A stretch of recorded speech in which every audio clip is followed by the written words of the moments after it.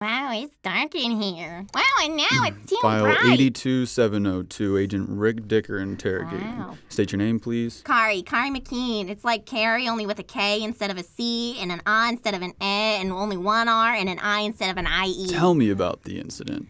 Well, it started out like any normal sitting dig, you know, with the reassuring of the parents and all. Mrs. Parr, I can totally handle anything this baby can dish out. I can a little goo goo baby. Who can handle it? Who can handle it? Um, Miss Parr? Mrs. Parr? Oh well, she knows in good hands. Now, who's ready for some neurological stimulation?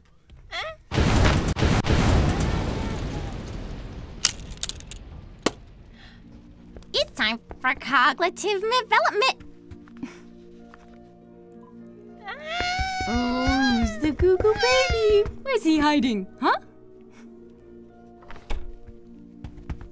That was really weird. Wait, right here.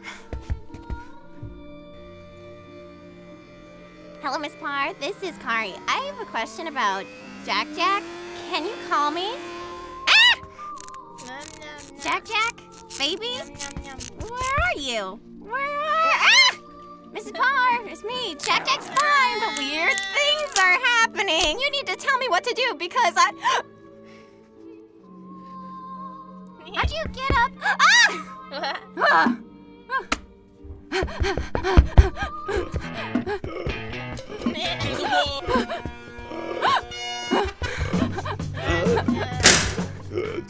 We're gonna calm things down a bit and look at flashcards. Won't that be fun? Triangle. Good. House. Good. Campfire. Ah! Ah! Ah!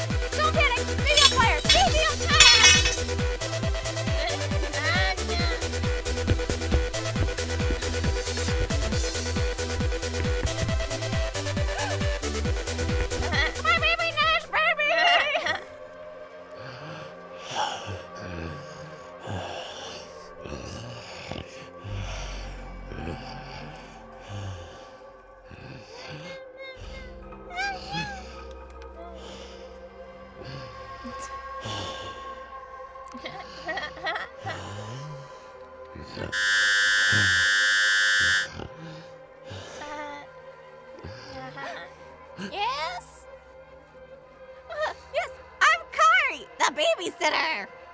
Well, hello, uh, Kari. I am. You're my uh, replacement. Thanks heavens you've come.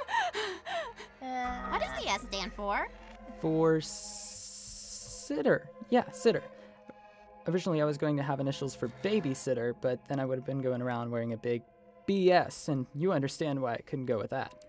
And you believe. The baby was exploding. You ever seen an exploding baby before, Mr. Dicker? What's that? You told anyone else about this? Your parents? Yeah, they thought I was being funny. But you believe me, don't you, Mr. Dicker? Sure, kid. Eh, I just wish I could forget the whole thing. You will, kid. You will.